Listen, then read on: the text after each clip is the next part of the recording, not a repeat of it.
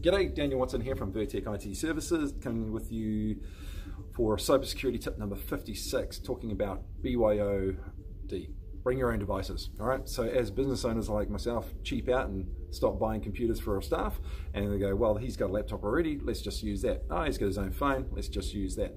So a few things you need to consider, right? Uh, at the very minimum, you want to have some policies in place, something like, I don't know, make passwords compulsory, because I know that if you've got a shiny new iPhone 10 and you don't have a password on it, and then somebody runs past and goes, hey, swipes and it's gone, well, if they can just open it up and get access to a corporate email, that's a bit of a risk, isn't it?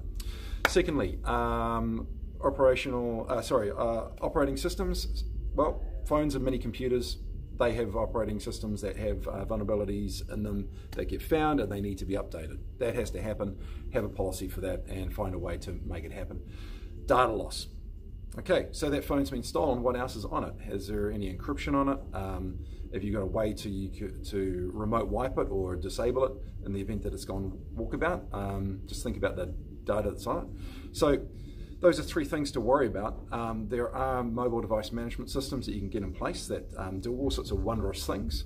Um, and at the very low level, uh, a lot of cloud apps actually have some functionality uh, to control passwords uh, and set minimum security requirements. So look into what those uh, are available in the systems that you already have and uh, just think about maybe taking it up one more step. All right, cheers.